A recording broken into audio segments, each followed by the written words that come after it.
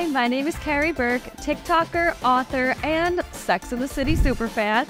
Welcome to my New York City apartment. Today, I'm going to be giving a tour of some of my favorite Sex and the City rare keepsakes I have in here, some of my favorite clothing items in my wardrobe, and more. So let's get to it.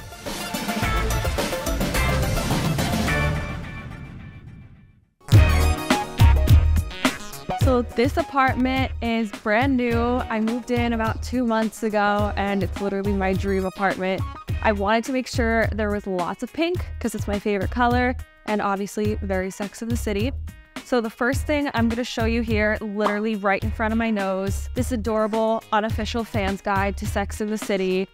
It's, you know, the ultimate coffee table book. Whenever my friends come and they're just chilling on the couch, they can look through, do some of the quizzes in here. So whenever my friends come over to the apartment, we all sit on the couch and we have a Sex in the City binge watching night, whether it's the movie, which I feel like I've seen like 10 times at this point, or we watch some of our favorite episodes from previous seasons. I feel like my favorite episode probably the Vogue episodes. Also, Carrie's hair is really cute and short in that season. So, some more details. This pillow here, which gives me Sex in the City vibes too.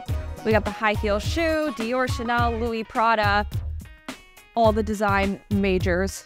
Gonna ruin this nicely folded blanket. Cute little hearts all over it. Moving along this way.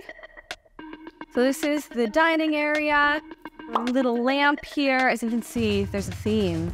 Pink everywhere. This guest check that says it will always be New York or nowhere. I feel like that reminds me of Sex of the City too. And of course, this, the Sex of the City characters, the story behind this, when I wasn't even born, my mom was working on the HBO website for Sex in the City. My mom really wanted to name her daughter Carrie, and her editors were saying, no, no, no, that's too embarrassing. You can't do that. So she decided to name her daughter Caroline and always call her Carrie. So this was a gift to my mom from HBO when I was born, but they told her that she was borrowing it and that her Carrie could get it when she finally moved into her own apartment. Right here, this cute little cake that says Carrie's Kitchen, decorated with cherries. It's not a real cake, obviously, it's just a form of decoration. And you guessed it, more Sex in the City stuff. I'm a Carrie. I couldn't help but wonder, you know, that iconic quote from the show. So these just like make me smile every time I open the fridge.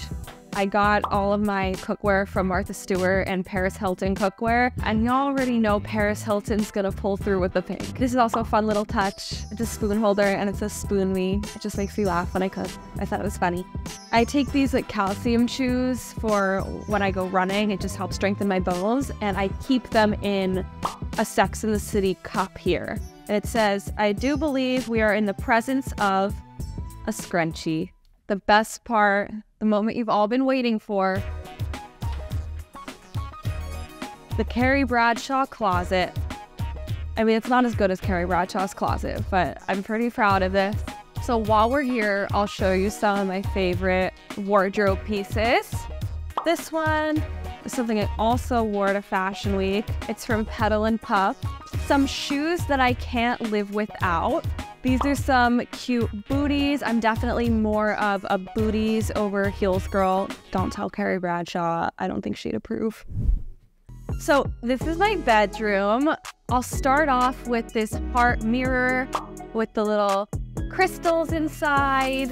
It's just really fun. So I'm to show you some of my go-to makeup products that I keep in here. The Fenty Beauty Concealer. It does such a great job. I cannot even begin to tell you. I'll wake up in the morning for school at like 8 a.m. and it will cover all the eye bags. MAC Cosmetics Locked Kiss Ink. I feel like this is the perfect shade. I don't like something too light or too dark. This is just, just in the middle. And last but not least, the bathroom. We have here the monogram bath towel and the thing I'm stepping on that makes me laugh every time.